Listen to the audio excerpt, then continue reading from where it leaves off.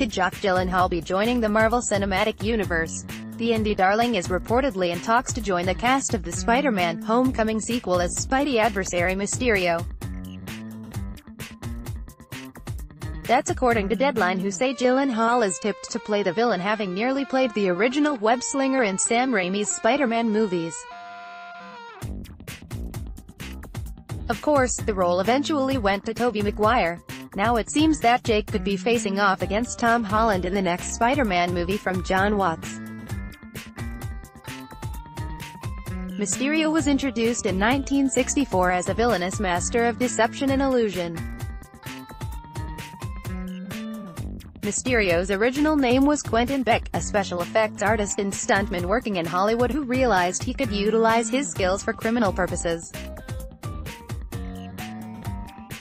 Mysterio is a well-known adversary of Spider-Man from the Marvel Comics. The Mysterio mantle was later adopted by Daniel Berkhart and Francis Klum but it is unclear which version Gyllenhaal would play. They might go with the Klum version of Mysterio as he is the only incarnation that has actual powers, those being teleportation and telepathic abilities. Spider-Man Homecoming sequel will have a brand new name after the colon and begin shooting this July. The film will mark the beginning of Marvel's Phase 4 following the release of Avengers 4 and see the likes of Holland, Marisa Tomei, Aunt May, Jacob Batalon, Ned, and Zendaya, MJ, returning with a host of new characters and a few MCU faces. Spider-Man Homecoming 2 is believed to begin straight after the events of Avengers 4 which means Peter Parker will be dealing with the aftermath of returning from his dusty state.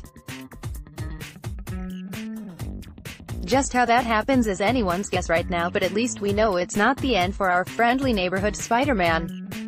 Spider-Man Homecoming 2 is expected for release on July 5, 2019. Read more 13 Reasons Why is tone deaf to school shootings Lost in Space renewed for Season 2 13 Reasons Why cast feel responsible after backlash.